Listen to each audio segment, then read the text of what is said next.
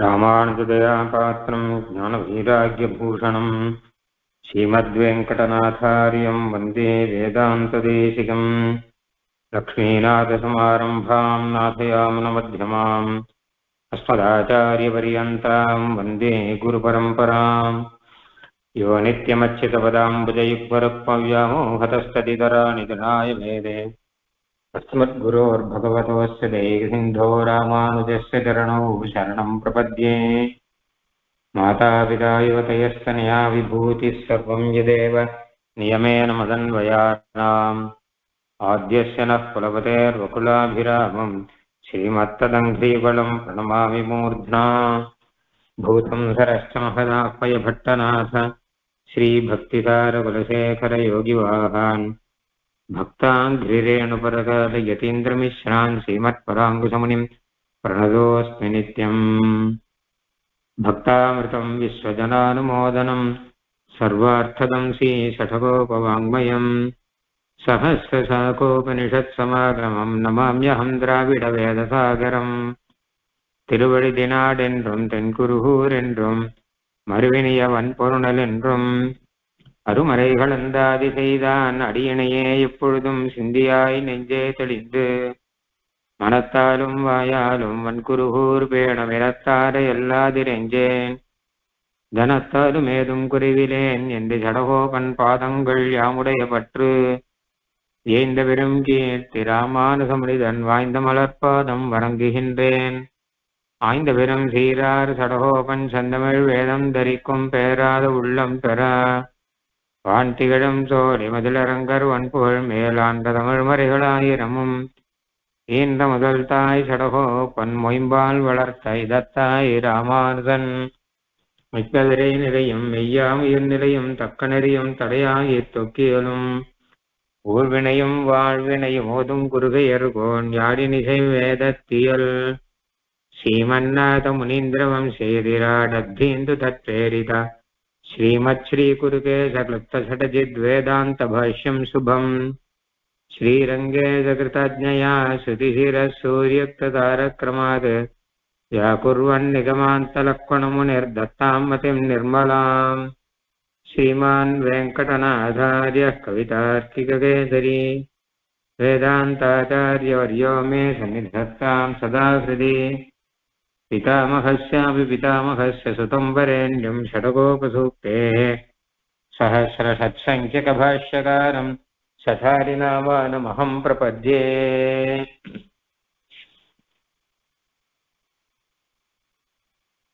திருச்செங்கண்டூரில் திருச்சிற்றாறு என்கிற திவ்ய தேசம் திருச்செங்கன்றூர் அப்படின்னு அந்த ஊருடைய பெயர் அங்கே எம்பெருமானுடைய திருக்கோயிலுக்கு திருச்சிற்றாறு என்றதாக திருநாமம்.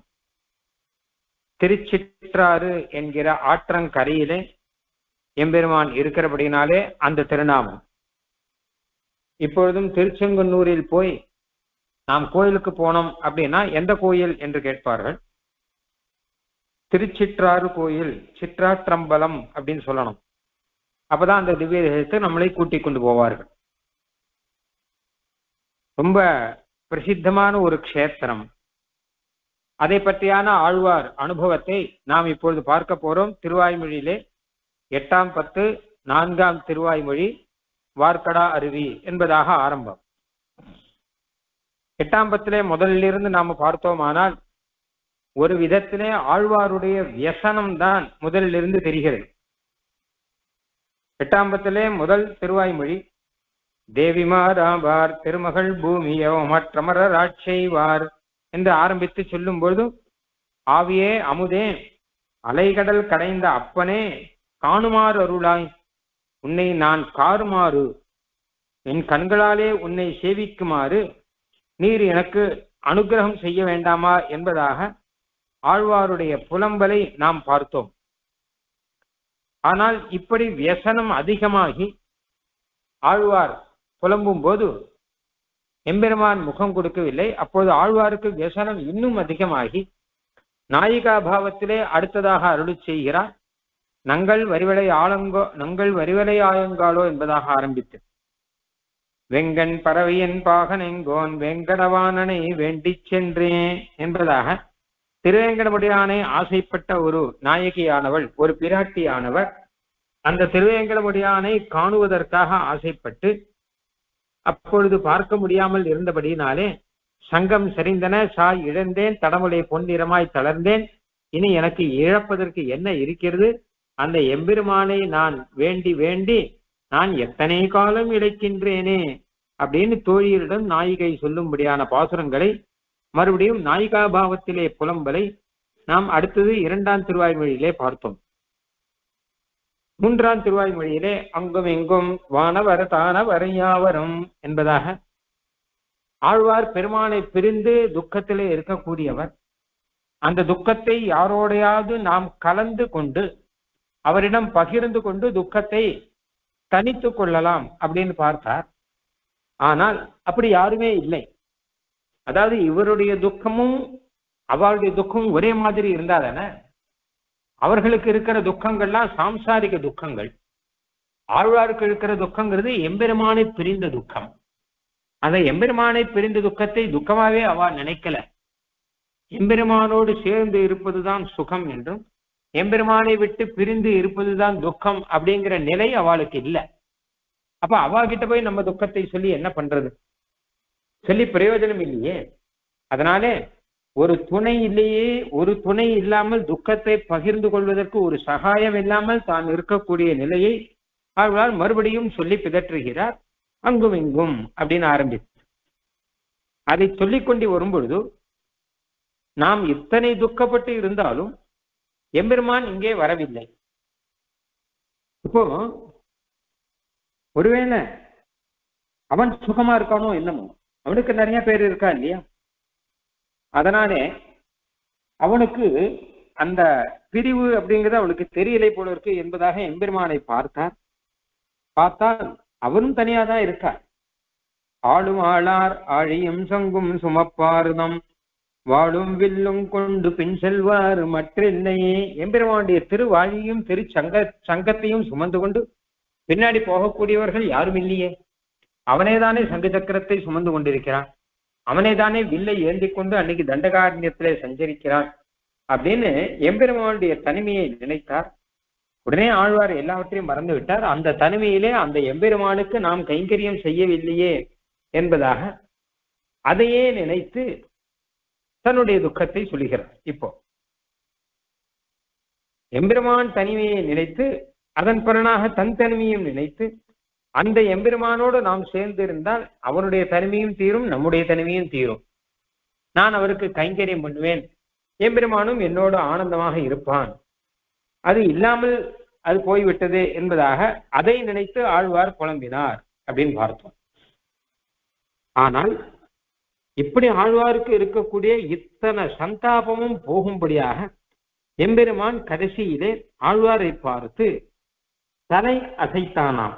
தலை ஓஹோ உம்முடைய துக்கம் இப்படியா என்பதாக. நோய் தவிர அருள் நீழ்முடியானை வரையார் மாட மண்ணு குருகூர் சடகோ பண்ட ஏதாவது விரக தர்மத்தால் உள்ள சந்தாபம் தவிரும்படி நிறதிசை விஷயீகார சூச்சகமான காருண்யவய சிறக்கம்பத்தாலே தம்மை விஷயீகரித்த எம்பெருமான் அப்படிங்கிற நாம ரொம்ப பெரிய மனுஷரை பார்க்க போறோம் அப்படின்னு வச்சுக்கோங்க. அவர் பார்க்க முடியுமா? முடியாதான்னு தெரியல. அவர் நம்மை கேட்பாரா கேட்க மாட்டாரான்னு தெரியல.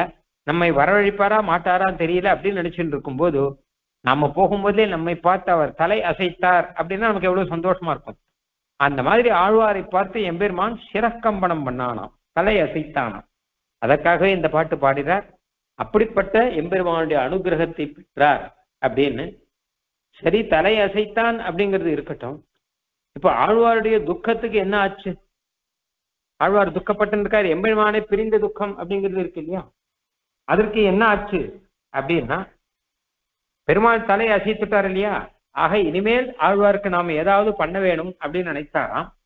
ஆழ்வாருடைய சந்தாபத்தை போக்க வேணும் அப்படின்னு நினைத்தாராம். அப்பொழுது திருச்செங்கன்றூரிலே திருச்சிற்றாற்றங்கரையிலே தான் விழுந்தருளி இருக்கக்கூடிய சேவையை ஆழ்வார்க்கு இங்கிருந்தே கொடுத்தாராம் பெருமாள். அந்த சேவையை ஆழ்வார் பார்க்கிறார். நம்முடைய தாபமெல்லாம் தீரும்படியாக இருக்கக்கூடிய ஒரு சேவை அது. அந்த சேவையை பார்த்தா உடனே ஆழ்வார் வந்து அப்படியானால் அந்த இடத்துக்கு போய் எல்லாரும் பெருமாளை சேவிக்க வேண்டாமா? அதுதானே நமக்கு பிராபியமான இடம் என்பதாக சந்தோஷத்தினாலே பேசக்கூடிய பாசுரங்கள் இப்பொழுது. இதுவரை மூன்று திருவாய்மொழியிலே துக்கத்தினாலே பேசக்கூடிய பாசுரங்கள் பார்த்தோம். தாபத்தினாலே துக்கம்னா சம்சார துக்கம் இல்லை எம்பெருமானை பிரிந்த தாபத்தினாலே பேசக்கூடிய பாசுரங்களை பார்த்தோம். இப்பொழுது சந்தோஷத்தாலே நமக்காக எம்பெருமான் திருச்செங்கன்னூரிலே திருச்சிற்றாற்றங்கரையிலே வீற்றிருக்கிறான் அது மட்டுமல்ல அழகா சொல்றார் பிள்ளான் சாதிக்கும் போது இப்படி விரக கர்ம அபிதப்தரான ஆழ்வாருடைய விடாயை போக்கி அருளைகைக்காக முன்னமே திருச்செங்கண்டூரில் திருச்சிற்றாற்றங்கரையிலே ஒரு தாமரை தடாகம் நின்றா போலே தான் நின்றபடியை காட்ட அப்படின்னு. எப்படி ஆனால் விரக கர்மங்கிற நல்ல வெயில்ல நல்ல உச்சி வெயில்ல பன்னெண்டு மணி வெயில்ல ரோடுல நடந்து வர்றவன் எங்கேயாவது தீர்த்தமாவது கிடைக்குமா அப்படின்னு பார்க்கும் பொழுது அங்க ஒரு தாமரை தடாகம் ஒண்ணு இருந்ததுன்னா எவ்வளவு ஆனந்தமா இருக்கும். அந்த மாதிரி ஆழ்வாருக்கு இப்படி மானச துக்கம் இருக்கும் பொழுது அந்த மானச துக்கத்தை போக்கக்கூடிய தாமரை தடாகம் போல இங்க எம்பெருமான் திருச்சிற்றாற்றங்கரையிலே சேவை சாதிக்கிறானாம். அந்த சேவையை ஆழ்வார் இருந்த இடத்துல பெருமாள் சேவை சாதிக்கிறார் அப்படின்னு தான் ஐதிஹ்யம் எம்பெருமானை தாமரை தடாகம் அப்படின்னு சொல்லுவதற்கு காரணம் என்னன்னு கேட்டா தடாகம்னாலே குளிர்ச்சி. எம்பெருமானுடைய திருமேனியே ஒரு தடாகம் போல. அந்த தடாகத்திலே நம்முடைய தாபங்கள் எல்லாம் தீரும் சம்சார தாபங்கள் எல்லாம் தீரும். ஆழ்வாருக்கு இருக்கக்கூடிய எம்பெருமானை பிரிந்த தாபங்கள் எல்லாமே தீரும் அப்படிங்கிறபடினால வாசத்தடம் போல் வருவானே அப்படின்னு ஆழ்வார் சொல்ற மாதிரியாக இங்க தடாகம் சொல்ற தாமரை தடாகம் அப்படின்னு சொல்வதற்கு காரணம் என்னன்னு கேட்டா எம்பெருமான் திருவேணியே ஒரு தடாகம் என்பதாக கொண்டால் நம்மளுடைய தாபத்தை போக்கும் என்பதாக கொண்டால் அதில் எம்பெருமானுடைய திருக்கண்கள் எல்லாம் தாமரை பூ போல பூத்திருக்கும். எம்பெருமானுடைய திருக்கைகள் தாமரை பூ போல இருக்கும். எம்பெருமானுடைய திருப்பாதம் தாமரை பூ போல இருக்கும். எம்பெருமானுடைய திருநாபி தாமரை பூ போல இருக்கும். எம்பெருமானுடைய திருவாய் தாமரை பூ போலே இருக்கும். இப்படிதானே சொல்ற? அப்படி பார்த்தா எத்தனை தாமரை பூ இருக்கு? அப்ப இத்தனை தாமரை பூ இருக்கக்கூடிய ஒரு தாமரை தடாகம் அப்படின்னு தானே அது சொல்லி ஆகணும். அத நிறைய தாமரை பூ இருக்கக்கூடிய ஒரு தாமரை குளமான எம்பெருமான் இருக்கான் குளத்திலேயே தாமரை குளம் அப்படிங்கிறது விசேஷம் போல இருக்கு. என்ன கேட்டா நல்ல வாசனை இருக்கும். அப்புறம் ஜலமும் நன்னா இருக்கும். அதனால குளிர்ச்சியும் நன்னா இருக்கும்.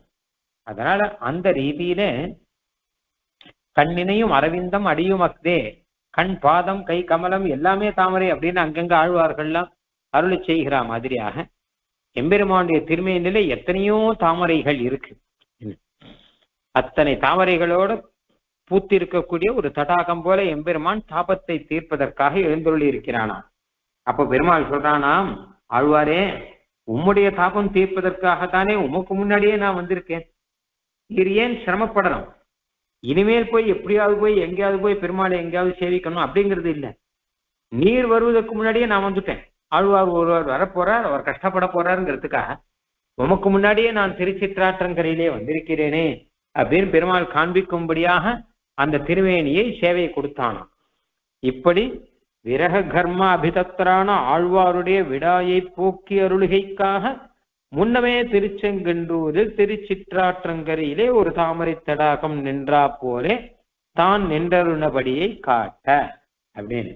எம்பெருமானுக்கு ஆழ்வார் மேல எத்தனை ஆசை இருந்தால் பின்னாடி ஆழ்வார் வந்து இப்படி கஷ்டப்பட போறாருங்கிறதுக்காக முன்னாடியே வந்திருப்பார் அந்த தீவி தேசத்திலே அதனால அந்த ரீதியிலே எம்பெருமானுடைய ஒரு வாத்சல்யம் எம்பெருமானுடைய காருண்யம் எல்லாமே ஆச்சரியமாக தெரிகிறது இல்லையா?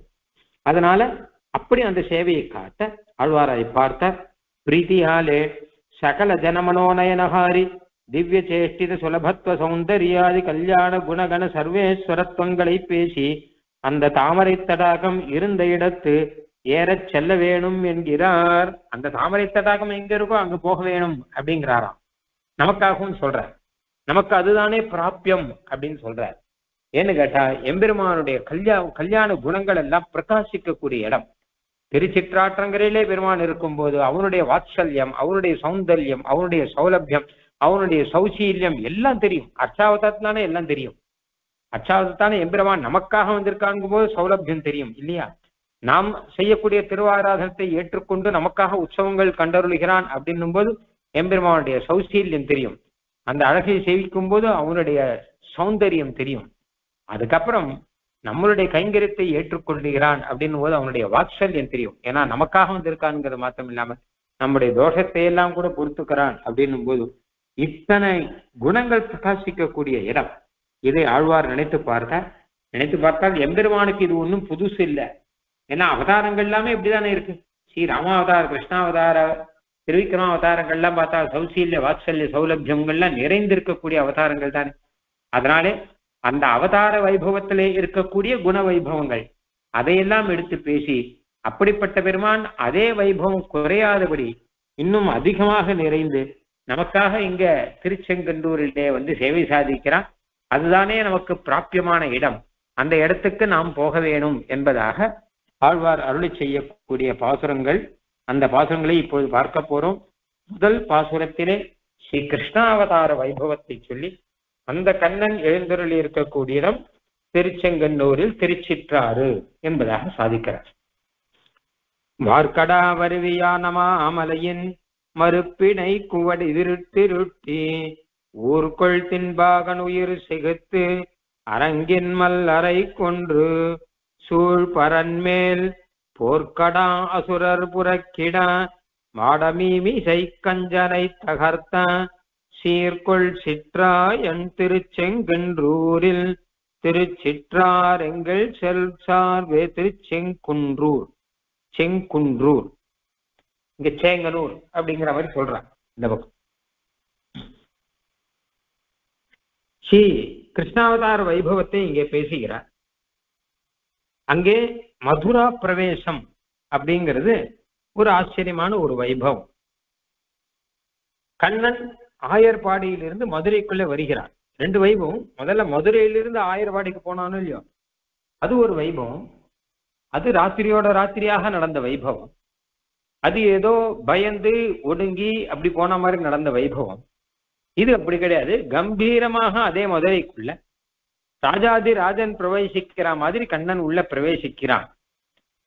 அப்போ மதுரைமா நகரன் தன்னுள் யாழை கொன்ற கண்ணனை அரங்கமாலை வளவிடன் தவளமாட மதுரைமா நகரந்தன்னுள் ஆழ்வார் சொல்ற மாதிரியாக மதுரா நகர பிரவேசம் அப்படிங்கிறது ஆச்சரியமாக இருக்கு.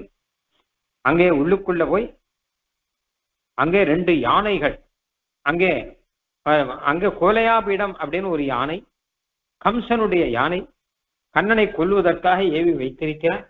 அந்த யானையினுடைய ரெண்டு பக்கத்திலிருந்தும் அதனுடைய தலையிலிருந்து அப்படியே அருவி மாதிரி மத ஜலம் கொட்டுகிறதாம். மதம் பிடிச்ச யானை.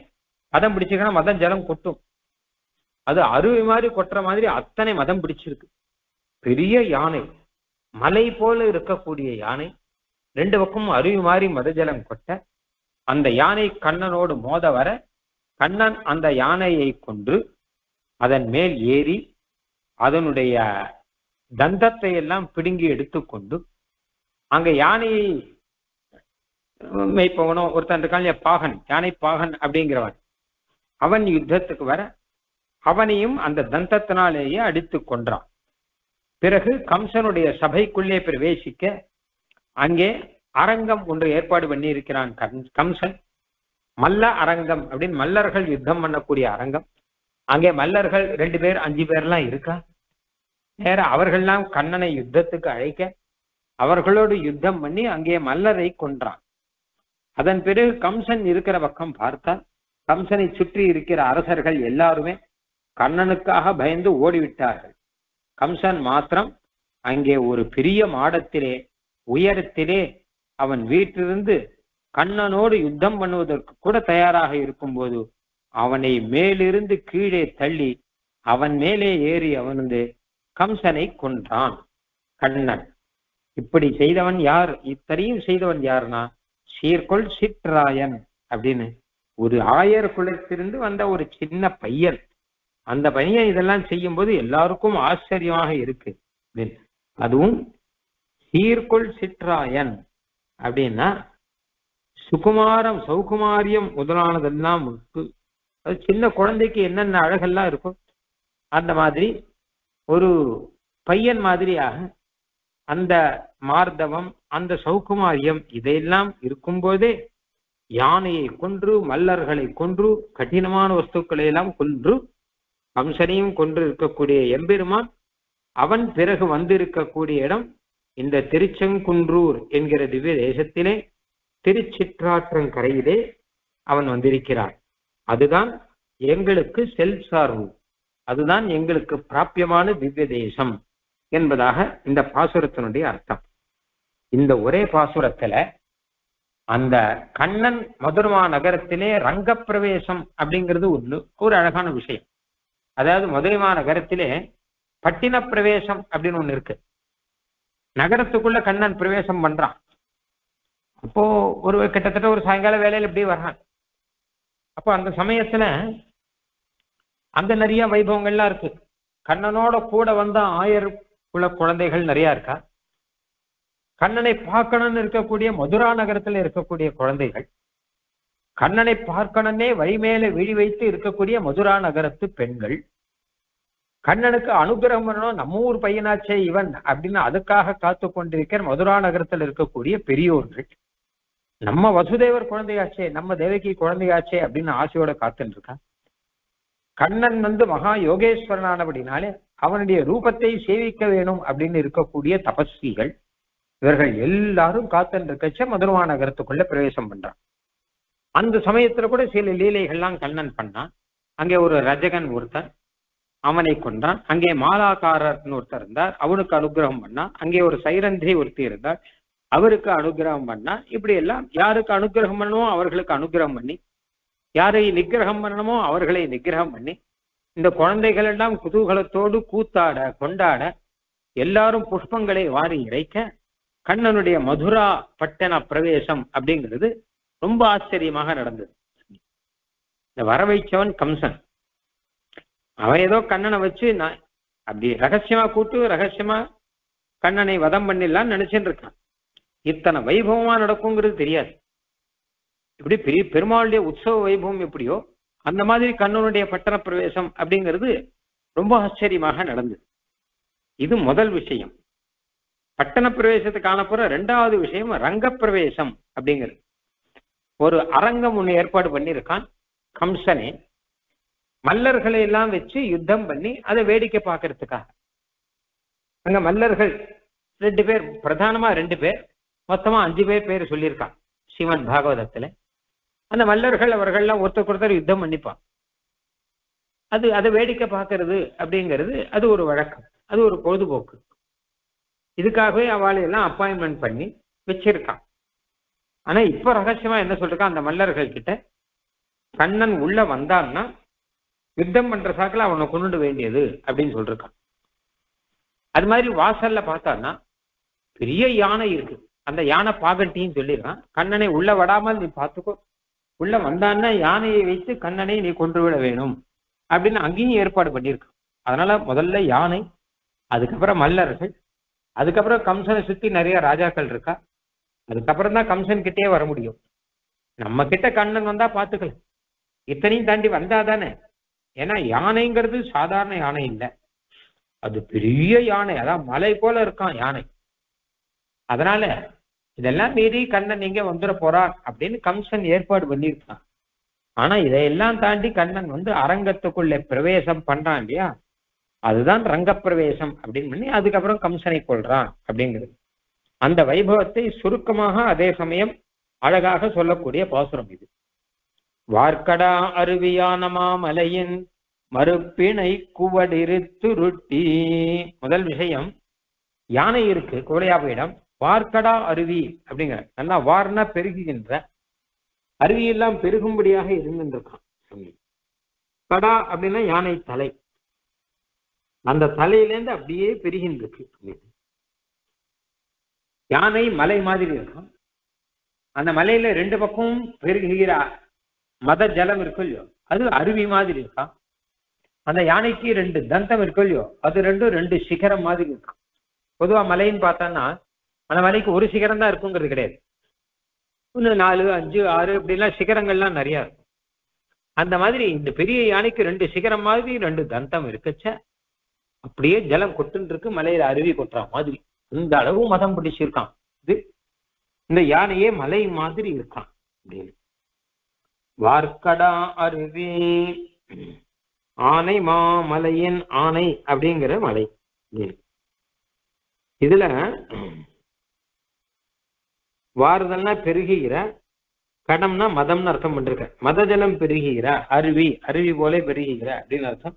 கம்சனே இப்படி இதுக்கு மதம் பிடிக்கிறதுக்கு என்னென்னோ அதெல்லாம் பண்ண சொல்லிருக்கானோ முதல்ல. வெறும் சாதாரண யானையா இருந்தா போறாது அதை மடம் பிரிக்கிற யானை ஆக்கி வைக்கும் சொல்லிருக்கான் அவளும் அப்படி ஆக்கி வச்சிருக்கான்.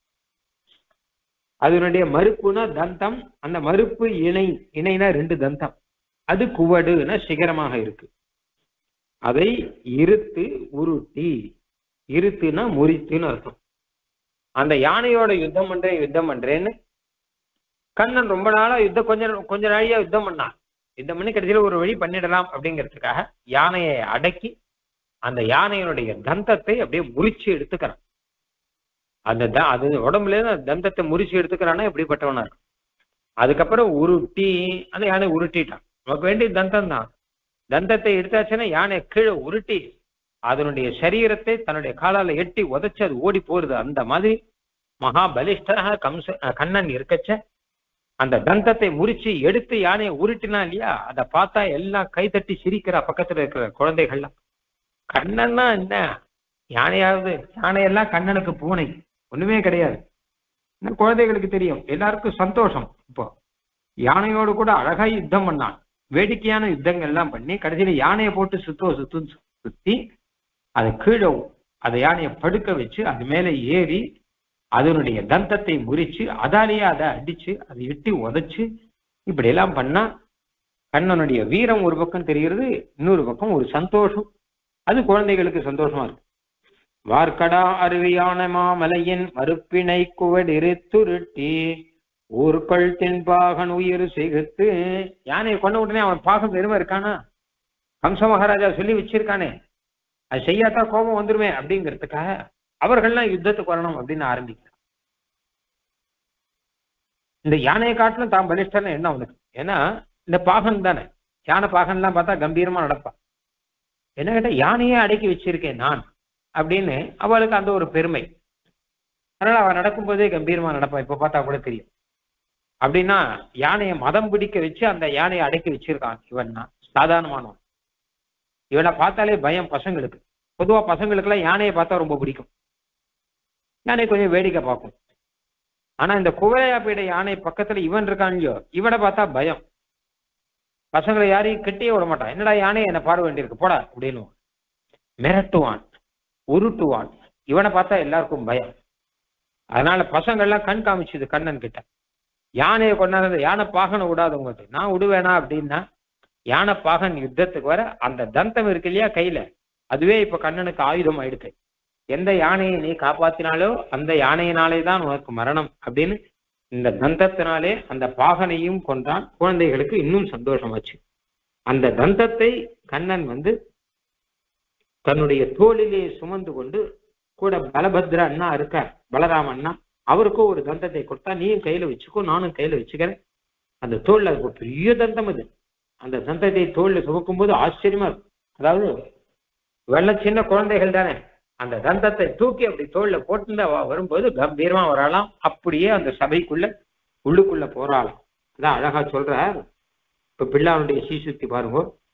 நிஷ்யந்தமான மதஜலமாகிற சரித்தை உடைத்தான குவலையாபீடமாகிற மகாச்சலத்தினுடைய தந்த யுகமாகிற சிகரங்களை முறித்து உருட்டி ஊர்கொள் தின்பாகன் உயிர் செகுத்து.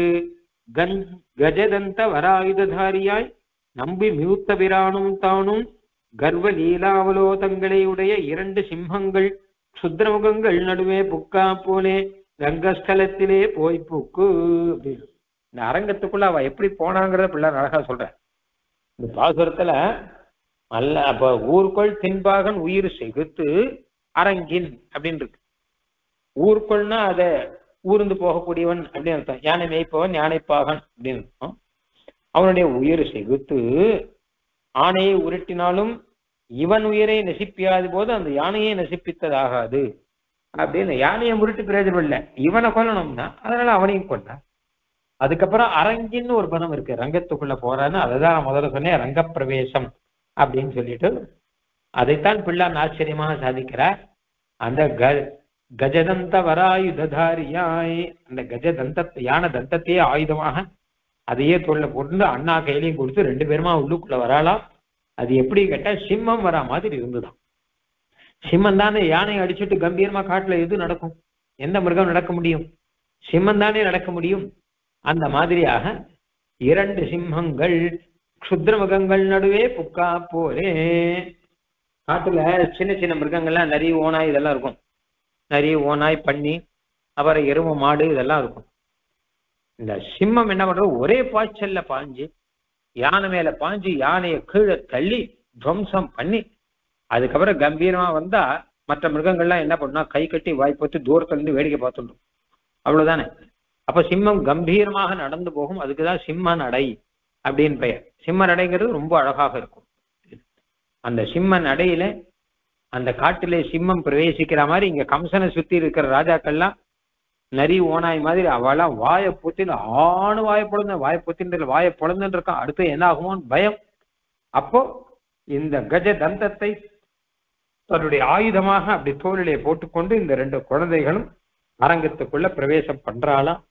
அதைத்தான் சொல்றார். இப்போ கர்வ லீலாவலோகிதங்களை உடைய இரண்டு சிம்மங்கள் க்ஷுத்ர முகங்கள் நடுவே புக்கா போலே ரங்கஸ்தலத்திலே போய் புக்கு அப்படின்னு அந்த சிம்மத்தினுடைய நடையில ஒரு அழகு என்ன கேட்டா கர்வ லீலாவலோகிதம் அப்படிங்கிறார் அப்படி அப்படி அப்படி பார்க்கும் சிம்மம் நடக்கும் போது முன்பக்கம் பார்க்கும் பின்பக்கம் பார்த்தும் பின்னாடி யார் இருக்கா அப்படின்னு பார்க்கும் சிம்மத்துக்கு பயம் கிடையாது ஆனா எல்லாரையும் பயமுறுத்த ஒரு பார்வை இதுக்கு சிம்மாவலோகனம் அப்படின்னு பெயர் சிம்மத்தின நடைக்கு சிம்மகதி அப்படின்னு பெயர். காவியங்கள்ல இதெல்லாம் நிறைய சொல்றான்.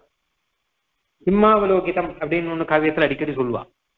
சிம்மம் கம்பீரமா அப்படி நாலு அடி எடுத்து வச்சுன்னா அப்புறம் பின்பக்கம் பார்க்கும். அப்புறம் நாலு அடி எடுத்து வச்சா பின்பக்கம் பார்க்கும். அதுக்கு சிம்மாவலோகிதம் அப்படின்னு பெயர். யாரும் ஒரு பையனு கிட்ட வர முடியாது அப்படின்னு எச்சரிக்கையான பார்வை இது. அந்த மாதிரியாக இது கண்ணன் வந்து அந்த அரங்கத்துக்குள்ளே சிம்மம் மாதிரி பிரவேசிக்க யானையை கொண்டுட்டு சிம்மம் பிரவேசிச்சா மற்றதெல்லாம் என்ன பண்ண முடியும் பேசாம இருக்க வேண்டியதானே எல்லாம் வேடிக்கை பார்த்துட்டு இப்போ அப்படி உள்ளுக்குள்ள ரங்கம் கதகா சாக்ரஜகான்னு ஒரு பாகவதத்துல ரங்கத்துல அண்ணாவோடு கூட அந்த அரங்கத்திலே பிரவேசம் பண்ணான்னு அரங்க பிரவேசம் மல்லானாமசதென்று நாம் நரவரஹ ஸ்திரீனாம் ஸ்மரோ மூர்த்திமான் கோபானாம் சஜனோ சதாம் க்ஷிதிபுஜாம் சாஸ்தா ஸ்வபித்ரோ சிசு स्वपित्रो शिशुः मृत्युर्भोजपतेः विराडविदुषम् तत्त्वम् परम् योगिनाम् वृष्णीनाम् परदेवतेति विदितः ரங்கம் கத சாக்ரஜா ரங்கத்துக்குள்ளே கண்ணன் வந்து அந்த தந்தத்தை சுமந்து கொண்டு உள்ளுக்குள்ள கம்பீர நடையா வரான் இல்லையா அப்ப யார் யார் என்னென்ன நினைச்சா அப்படின்னு ஸ்லோகம் இது மல்லானாமசனிஹி அந்த மல்லர்கள் காத்துட்டு இருக்காளே யுத்தத்துக்காக அவளுக்குலாம் என்ன கேட்டா அந்த யானையை கொண்டுட்டு தானே உள்ள வரணும். யானையை கொண்டுட்டு உள்ள வரானா பாத்துக்கலாம் அப்படின்னு நினைச்சிட்டு இருக்கா. ஆனா இங்க யானையினுடைய தந்தத்தை தோல்ல போட்டுன்னு அப்படி அனாயாசமா நடந்து வரத பார்த்தா சரி அவ தலையில இடி விழுந்த மாதிரி இருந்துதான். வந்துட்டானா உள்ள? வரான் வரான்னா வந்துட்டாயா இப்ப என்ன பண்றது? அப்படிங்கிற மாதிரி அவளுக்கு கவலை வந்துருக்கான் மல்ல அனாமசதிஹி திருணாம் நரவரஹா. அங்க இருக்கக்கூடிய மனுஷர்கள் மதுரா நகரத்தை சேர்ந்தவர்கள்லாம் இருக்கையும் அவள்லாம் நம்ம கண்ணன் வந்துட்டான் நம்ம ராஜகுமாரன் வந்துட்டான் அப்படின்னு நினைக்கிறான். ஸ்ரீநாம் ஸ்மரோ மூர்த்திமான். மதுரா நகரத்து பெண்கள் மதுரா நகரத்து பெண்களை பத்தி விஷ்ணு புராணத்துல அழகா சொல்றா நாகரிக பெண்கள்ங்கிறா ஏன்னா ஆய்ப்பாடையில் இருக்க பெண்களுக்கு நாகரிகம் தெரியல. அவெல்லாம் கிராமத்தை சேர்ந்தவா கிராமத்தை சேர்ந்தவாள என்ன ட்ரெஸ் உடுத்திப்பாளோ அந்த ட்ரெஸ் உடுத்திக்கிறா. கிராமத்தை சேர்ந்தவாளா என்ன சின்னதா ஏதாவது ஆபரணம் இருந்தா அதை போட்டுப்பா அதை போட்டுன்னு இருக்கா. கிராமத்தை சேர்ந்தவாளா என்ன கிராமீண வார்த்தை பேசுறாளோ அதை பேசுறா. கிராமத்தை சேர்ந்தவாள்லாம் என்னென்ன செய்யறாளோ தயிர் விற்கிறது பால் விற்கிறது மோர் விற்கிறது அதை பண்ணிட்டு இருக்கான் இவாளோட தான் கண்ணன் பழகியிருக்கான் ஆனா மதுரா நகரத்துல வந்து பார்த்தா எல்லாம் நாகரிகம் மொத்த பேரும். நாகரிக பெண்கள். நாகரிக அது ஸ்ரோத்ரே நவாசியதி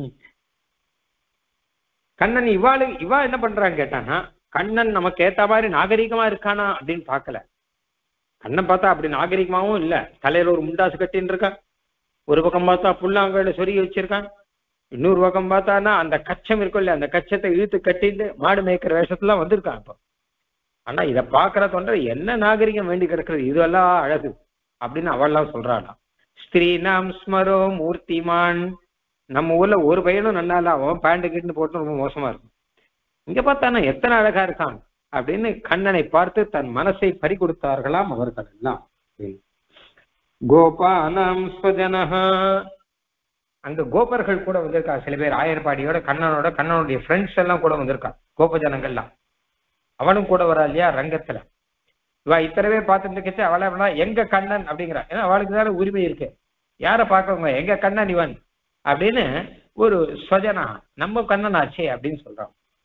அசதாம் கிதி பூஜாம் சாஸ்தா இன்னும் நிறைய ராஜாக்கள்லாம் இருக்கா? கம்சன் கூட்டி உட்காந்து வச்சிருக்கா? எல்லா ராஜாக்களையும் கண்ணன் வந்தா நீங்களா பார்த்துக்கணும்னு சொல்லிருக்கான்.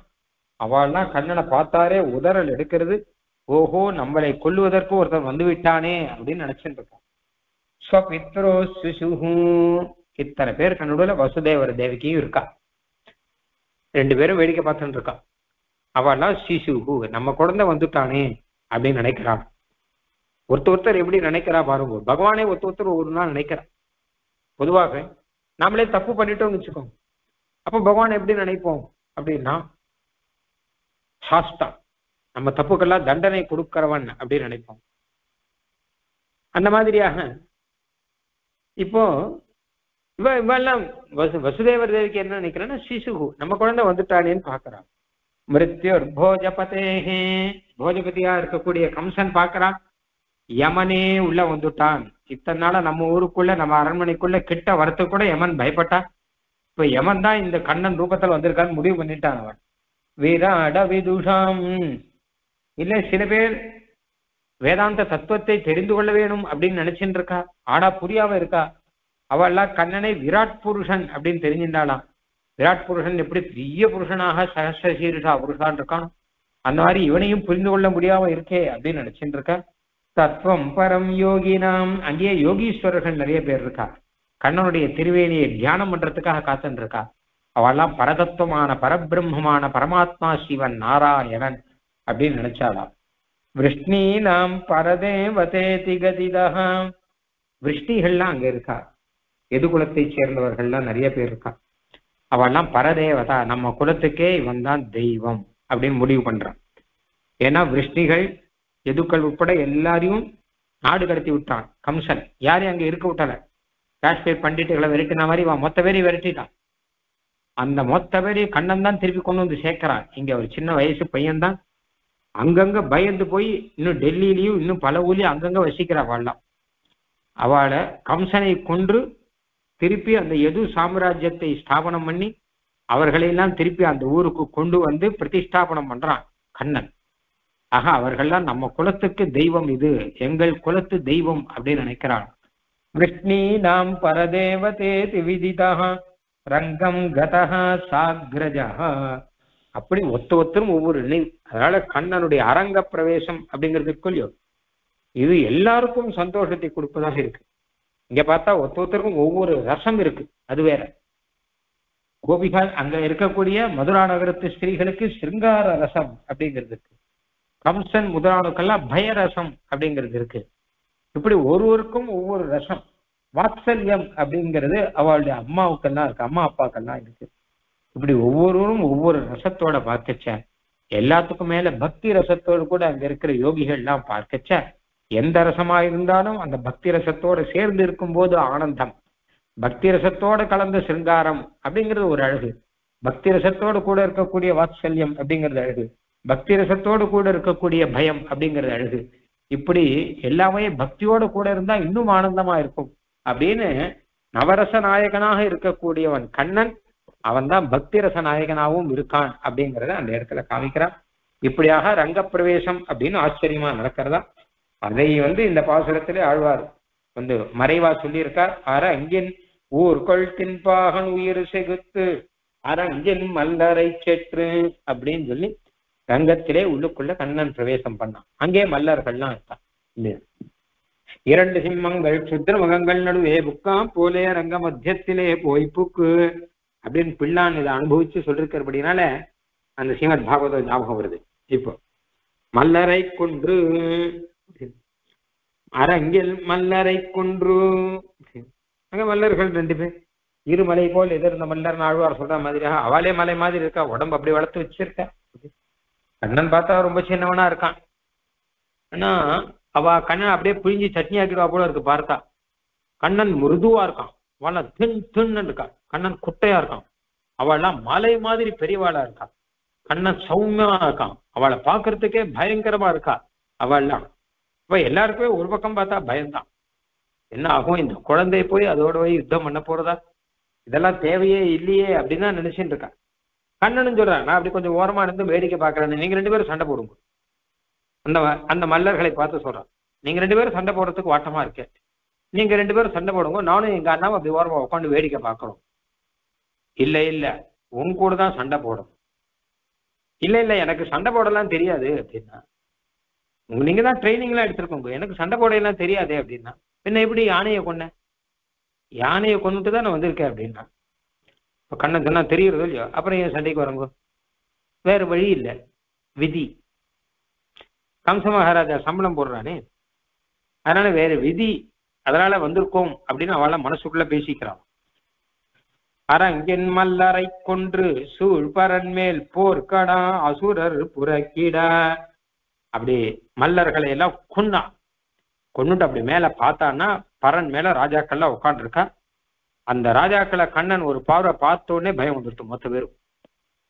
கம்சனை சேர்ந்தவர்கள் கம்சனுக்கு சகாயம் பண்ணுவதற்காக கம்சனுடைய நண்பர்களாக இருக்கக்கூடியவர்கள் அவர்கள்லாம் அடுத்து கண்ணன் இங்க வந்தானா நம்ம கதி தொலைஞ்சுது அப்படிங்கிறதுக்காக அப்பட்டுன்னு கண்ணை மூடி கண் திறக்கிறது பார்த்தா அவளை காணும்.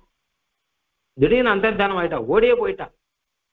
ஏன்னா யானையை கொன்று மல்லர்களை கொண்டு வந்துட்டான்னா நம்ம எல்லாம் ஒண்ணுமே கிடையாது. அவனுக்கு. அதனால கம்ச மகாராஜாவாச்சு ஏதாவது என்ன வேணா ஆயிட்டு போட்டா நமக்கு உயிர் பழிச்சா ஓரும் அப்படிங்கிறதுக்காக ஓடியே போயிட்டாலாம் அந்த இடத்த விட்டு. யுதப்பூர்வம் யுத்தத்தில் பராஜிதரான ராஜாக்கள் திரஸ்தராய் கெடும்படி எடப்பா எடப்பாய்ந்து அப்படின்னு.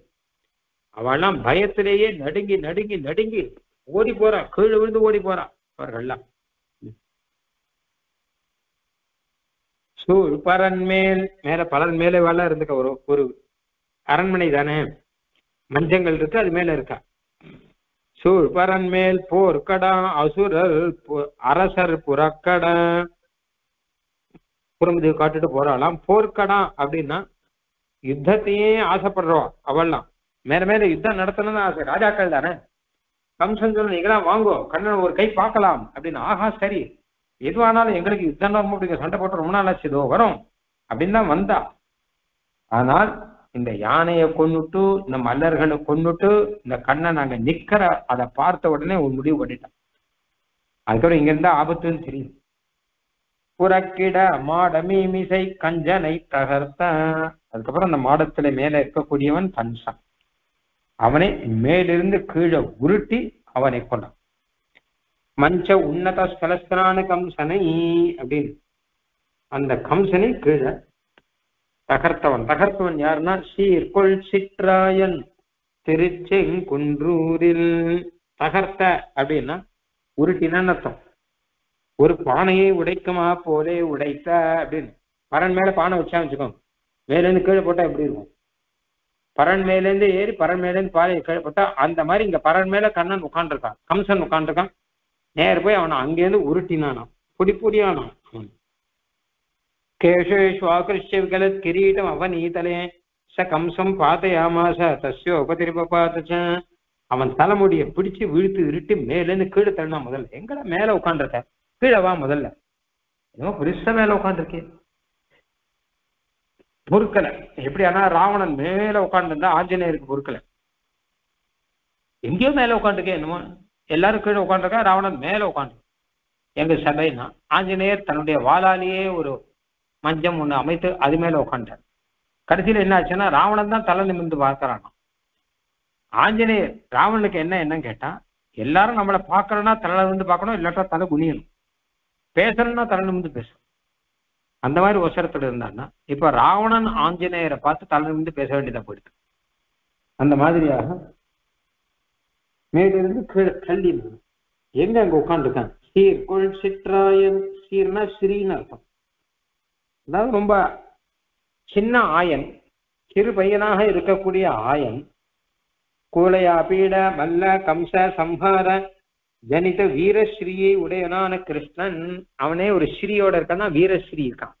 சின்ன குழந்தையா இருந்தாலும் ஒரு பக்கம் ஒரு பக்கம் பார்த்தா சௌந்தரிய ஸ்ரீ இன்னொரு பக்கம் பார்த்தா வீரஸ்ரீ இந்த ரெண்டும் கலந்துருக்கு. அதானே அழகு. வெறும் சௌந்தரிய ஸ்ரீ மாத்திரம் இருந்து வீரஸ்ரீ இல்லாட்டா எப்படி இருக்கும் இல்ல வீரஸ்ரீ மாத்திரம் இருந்து அழகு இல்லாட்டா எப்படி இருக்கும் இங்க ரெண்டும் கலந்து இருக்கிற அப்படின்னாலே சீர்கோள் சிற்றாயனாக இருக்கான் அப்படிப்பட்ட சீர்கோள் சிற்றாயன் அப்படின்னு இருக்கு. இப்போ அதை எதுக்கு சொன்னாருங்க?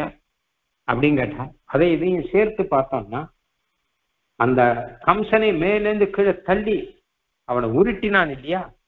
அதை பார்த்த உடனே மதுரா நகரத்துல இருக்கிற ஜனங்களுக்கு எல்லாமே கொஞ்சம் கஷ்டமாயிடுச்சு. ஆ ஹா ஹாங்கிறான். என்ன கேட்டா என்ன ஆனாலும் மகாராஜாவாச்சு. ஒரு மகாராஜா அவர் தோற்கிறார் அப்படின்னா பரவாயில்ல. ஆனா யுத்தத்துல போய் அவர் சண்டை போட்டு போர்க்களத்துல இருந்து தோக்குறாருன்னா அது அவருக்கும் கௌரவம். ஆனால் ஒரு போர்க்களமும் இல்லை ஒண்ணும் இல்லை.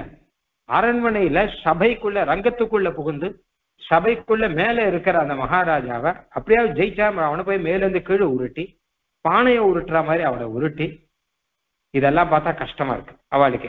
என்னதான் கம்ச மகாராஜா மோசமானவர் அப்படின்னா கூட நம்ம மகாராஜாக்கு இப்படி ஒரு பரிபவம் ஆயிடுச்சு இப்படி எல்லாம் கண்ணன் கண்ணன் பண்றான் இல்லையா? கண்ணன் பண்றதெல்லாம் ரசிக்கும்படி இருந்தா கூட நம்ம மகாராஜாக்கு இப்படி ஆயிடுச்சு அப்படின்னா என்ன மேலேந்து கீழே உருட்டுறார் அப்படின்னா அப்போ திருவாய்ப்பாடியிலேருந்து வந்திருக்கக்கூடிய இந்த குழந்தைகள் கோபர்கள் இருக்கா இல்லையா?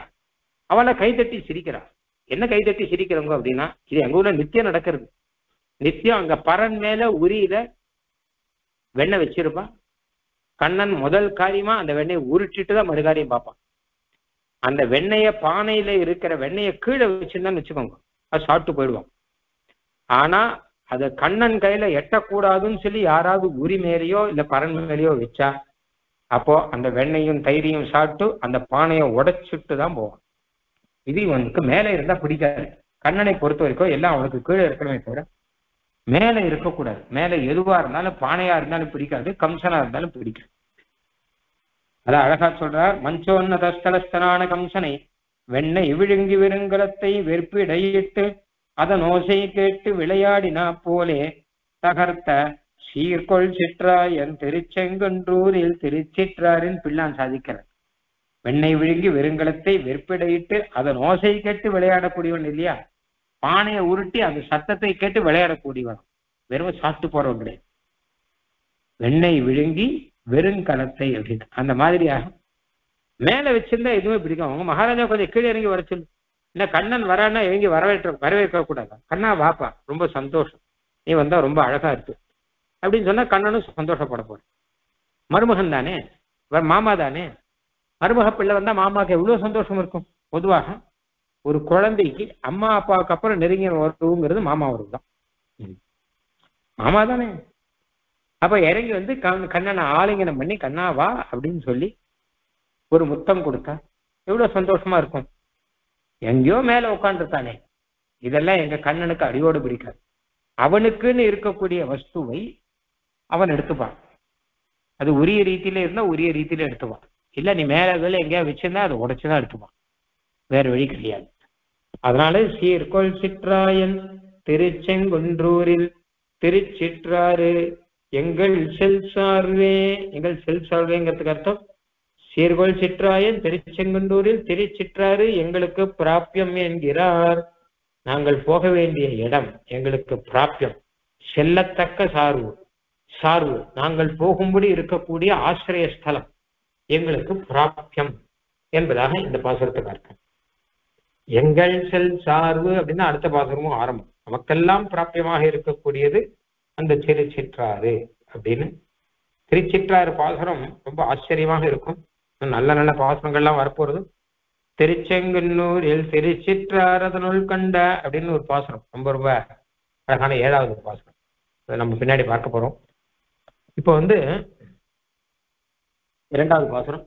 எங்கள் செல் சார்பு யாமுடை எமுதம் இமயவரப்பன் என்னப்பன் பொங்குமோ உலகும் படைத்தளித்தழிக்கும் பொருந்து மூவுருவன் எம்மருவன் செங்கரையுலகுள் செங்கல் செங்கயல் உகழும் தேம்பனை புடைசூழ் திருச்செங்குன்றூர் திருச்சிற்றாறு அங்கமருகின்ற ஆதியா நல்லால் யாவர் மற்று என் அமரு துணையே.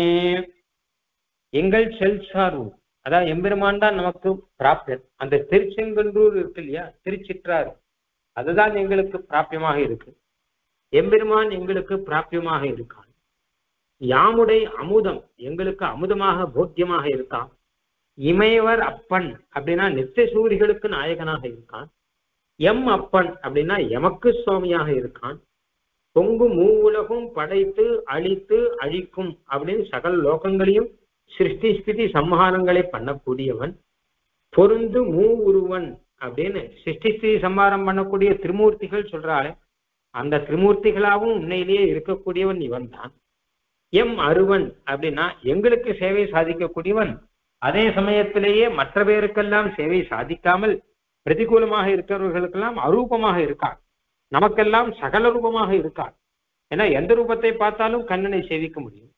பிரதிகூலர்களுக்கு கண்ணனுடைய நேர் ரூபத்தை பார்த்தாலுமே கண்ணன்கிறது தெரியாது. அப்படி இருக்கக்கூடியவன் அவன் செங்கையல் உகழும் தேம்பனை புடைசூழ் திருச்செங்குன்றூர். நல்ல மீன்கள் எல்லாம் அப்படி துள்ளி துள்ளி விளையாடக்கூடிய இடமா. செங்கையல்னா சிவந்த மீன்கள். நல்ல புஷ்டியா வளர்ந்திருக்கிறபடினாலே சிவந்து வளர்ந்திருக்கான். அது உகழும் தேம்பனை புடை சூழ் அந்த கரையிலெல்லாம் மொத்தமும் மீன்கள் எல்லாம் அப்படியே விளையாடி கொண்டே இருக்கின்றன சூழ்ந்து கொண்டே இருக்கின்றன அப்படின்னு சொல்ற. பனை அப்படின்னா நதி தீரம் நதி கரை அப்படிங்கிறது. தேன் நிறைய தேன் எல்லாம் கொட்டியிருக்காங்க ஏன்னா நதி கரையில நிறைய புஷ்பங்கள் எல்லாம் இருக்கிறபடினா அங்கே தேன் எல்லாம் சொரிந்து கொண்டிருக்கு. அப்படி இருக்கக்கூடிய நதி கரைகள் சேர்ந்து இருக்கக்கூடிய நதி இருக்கு அங்க. அதான் திருச்சிற்றார் அந்த திருச்செங்கன்னூர் திருச்சிற்றாறு அங்கு அமர்கின்ற ஆதியான். அந்த திருச்சிற்றாற்றிலே இருக்கக்கூடிய ஆதியான் எம்பெருமான் ஆதி காரணம் அவனல்லால் மற்ற நபர் துணையே அவன் தவிர வேற யார் எனக்கு துணை? அவனை தவிர வேறு துணை எனக்கு கிடையாது அப்படின்னு அர்த்தம். பாசுரத்தினுடைய சாரத்தை அழகாக பிள்ளான்னு சொல்ற நமக்கு பிராபியமாய் நமக்கு போக்கியமாய் அயர் வரும் அமரர்கள் அதிபதியாய் எனக்கு சுவாமியாய் நிகில போன நிர்மாண பிராண சம்ஹரணாதி லீலனாய் திரிமூர்த்தி ரூபனாய் பிரதிகூல ஜன துர்தர்சனாய் சர்வ காரணமாய் மதமுதித மீனாகுல மதுமிளித சலில சீதல சியாமல பகுல பலாச சுரபி குசும தரு நிகர பரிவிருத்தமான திருச்செங்குன்றூரில் திருச்சிற்றாறு அங்கு அமர்கின்ற அவன் அல்லது மற்ற எனக்கு ஒரு துணை இல்லை என்கிறார். அந்த திரு அவனை தவிர வேற துணை இல்லை.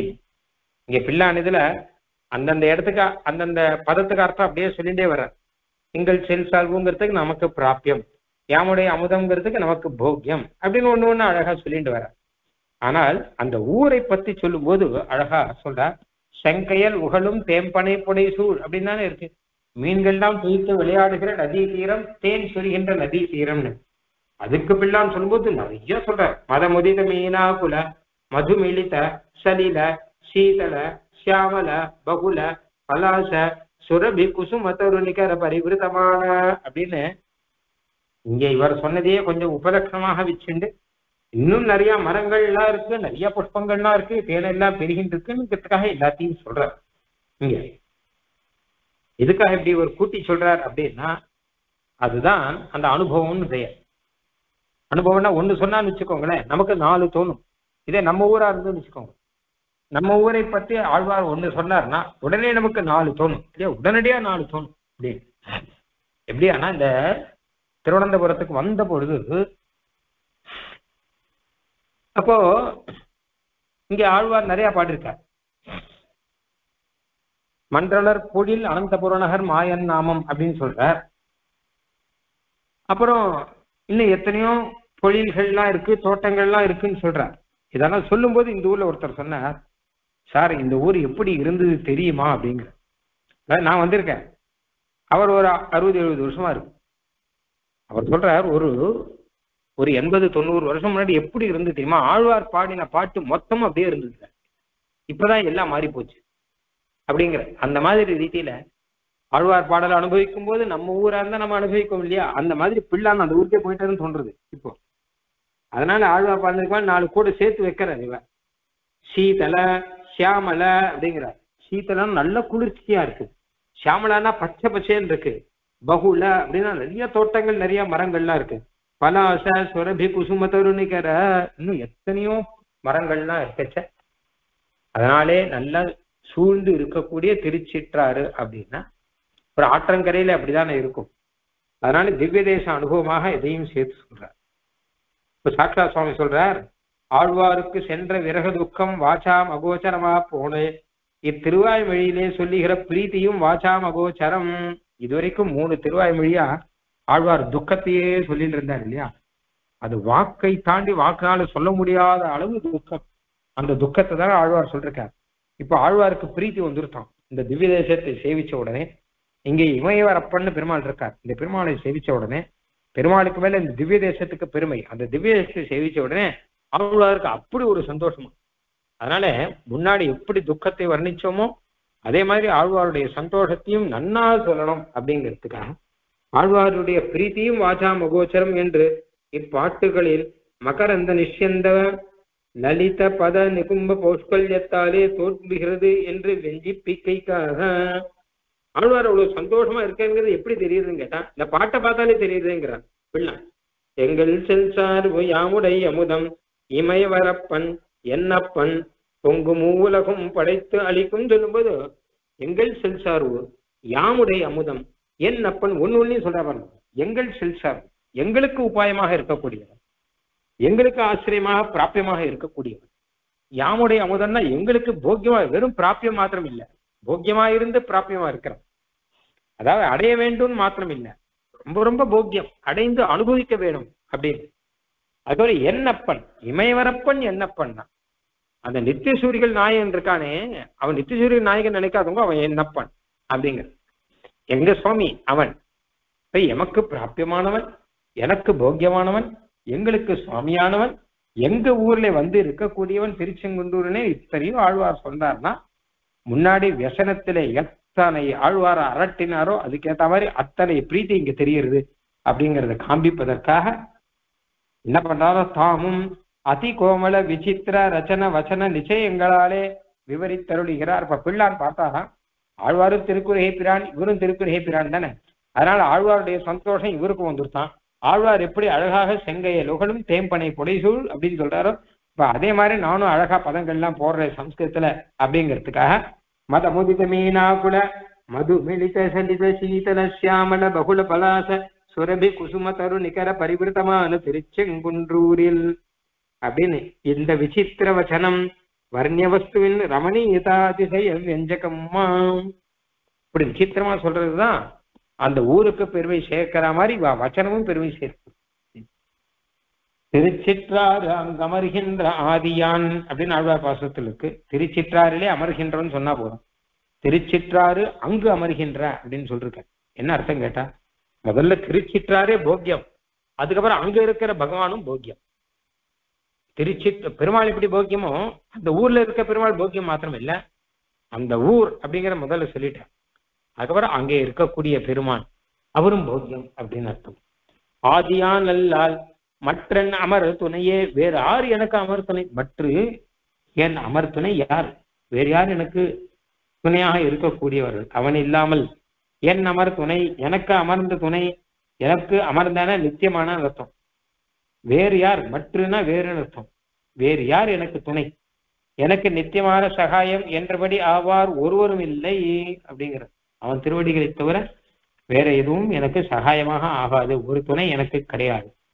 அந்த திருச்சிற்றாறு அங்கு அமர்கின்ற அவன் அல்லது மற்ற எனக்கு ஒரு துணை இல்லை என்கிறார் அப்படின்னு இரண்டாம் பாசுரத்திலையும் அந்த பரம போக்கியத்துவத்தை திவ்யதேச போக்கியத்துவத்தையும் பெருமாளுடைய போக்கியத்துவத்தையும் ஆச்சரியமாக அருளி செய்கிறார் துர்தாந்தேபேந்திரபங்காத் शुभनिलयतया साम्यतश्चेतरेषाम् स्वायत्तत्त्वेन भानात् श्रितहृदि सततम् देव देवतद्वेषि सङ्घे मित्र अमित्रत्वयोगात् जगदुदयकृतेः देवतात्तत्त्वमुख्यैः ஸ்ரீமான் வைகுண்டநாதா ஸ்ரித விஹித சமக்ரத்வ பூமா அன்பபாவி.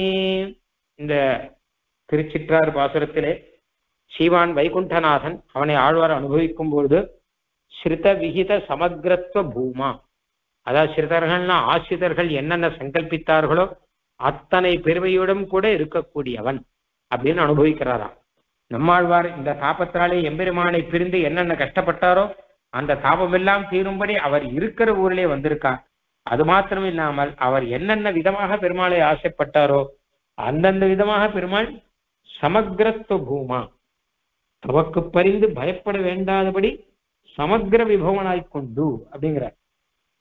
பெருமாளுக்கு ஏதாவது குறை வந்துருமோ அப்படின்னு தானே பயப்பட்டார். அதெல்லாம் இல்லாதபடி சகல வைபவத்தோடையும் கூட ஆச்சரியமான திவ்ய தேசத்திலே இங்கே எம்பெருமான் எழுந்தருளி இருக்கான் ஆசிரியர்கள் ஆசைப்பட்டால் அதற்கு ஏற்றா மாதிரியாக சகல வைபவத்தோடும் எம்பெருமான் எழுந்தருளுவான் அப்படிங்கிறது இதனுடைய சாரம். இந்த மூன்று திருவாய்வெளியிலே ஆழ்வார் ஆசைப்பட்டதை இங்கே திருச்சிற்றார் எம்பெருமான் நடத்தி கொடுத்திருக்கான் இது எம்பெருமானுடைய சுபாவம். ஆசிரியர்கள் ஆசைப்பட்டபடி ரூபத்தை எடுத்து அவர்களுக்கு சேவை சாதித்து அவர்களுடைய ஆசையை தீர்ப்பார் அப்படிங்கறத இங்க சொல்றாராம். முதல் பாசுரத்திலே துர்தாந்தே பேந்திர பங்காது இபேந்திரன் அப்படின்னா கஜேந்திரன். அதான் யானை. துர்தாத்தான அடக்க முடியாத யானையை அடைக்கிறபடியானே அப்படின்னு அர்த்தம். யானை மாத்திரமில்லை யானை மல்லர்கள் கம்சர்கள் யாருமே அடக்க முடியாதுவா. அதனால எல்லாரையும் சேர்த்து அடக்க முடியாதவர்கள் சொல்லிட்டார். அடக்க முடியாத அவர்களை எல்லாம் அடைக்கணும். முதல் விஷயம். சுப நிலையத்தையா? ரெண்டாவது பாசுரம். ஆச்சரியமான நிலையம். திவ்ய தேசம். அதிலே இருக்கக்கூடியவன். சுபமான திவ்ய தேசத்திலே இருக்கக்கூடியவன். மங்களமானது அழகானது பிராப்பியமானது அப்படிப்பட்ட திவ்ய தேசத்திலே இருக்கக்கூடியவன். அப்படின்னு திவ்ய தேசத்தினாலே எம்பெருமானுக்கு பெருமையைத்தானே இரண்டாவது பாசுரத்திலே சாதித்தார். அதை சொன்னார். தொடர்ந்து மூணாவது பாசுரத்தெல்லாம் சொல்லி எம்பெருமானுடைய அந்த ஸ்ரித விகித சமக்ரத்துவ பூமா அப்படிங்கிற வைபவம். ஆசிரியர்கள் ஆசைப்பட்ட மாதிரி சகலத்தையும் அமைத்து சேவை சாதிப்பவன் அப்படிங்கிறதை இங்கே ஆழ்வார் அனுபவிக்கிறாராம். ஆழ்வார் எம்பெருமான் ஆர் தேசிகன் திருவடிகளே சரணம்.